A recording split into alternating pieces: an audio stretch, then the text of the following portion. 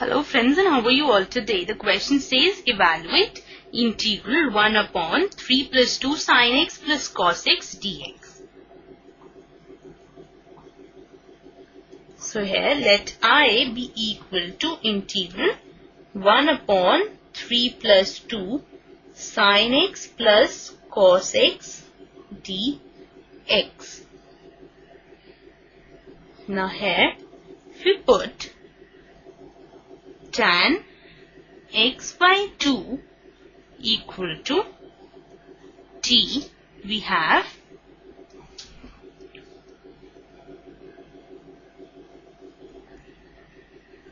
one upon two secant square x by two dx equal to dt. That implies the value of dx is equal to 2 dt upon 1 plus t square since secant square x by 2 can be written as 1 plus tan square x by 2 that will be 1 plus t square. So therefore we have i equal to integral now in place of dx we have 2 dt divided by 1 plus t square upon 3 plus 2 into sine x can be written as 2t upon 1 plus t square isn't it?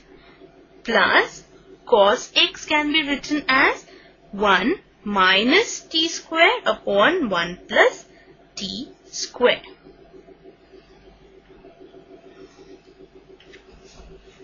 So now let us solve it further. We have i equal to integral 2 dt upon 1 plus t square upon taking 1 plus t square common we have 3 into 1 plus t square plus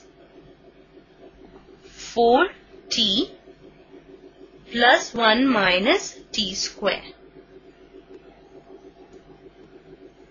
1 plus t square will get cancelled out and we are left with i equal to, let us take out this 2 which is a constant out of the integral we have dt upon 3 plus 3 t square plus 4t plus 1 minus t square. We have opened the bracket. i is equal to 2 integral dt upon 3 plus 1 gives us 4 plus 3t square minus t square gives us 2t square plus 4t. On taking out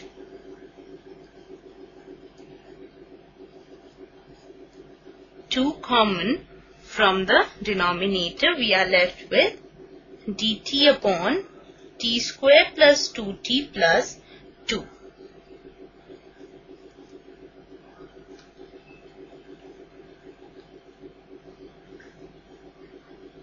Now here, if we have t plus 1 the whole square, that will give us t square plus 1 plus 2t. That means we will have another 1 remaining over here. So we will add it to it. And now we know that integral dt upon t square plus 1 can be written as tan inverse t plus c.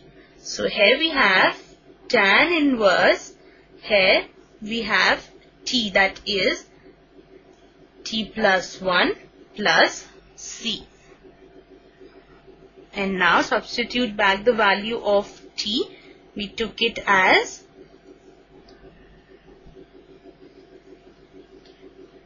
tan x by 2 plus 1 plus c. So, the required answer to the given question is tan inverse 1 plus tan x by 2 plus c. Right? So this completes the session. Hope you understood it well and enjoyed it too. Have a nice day ahead.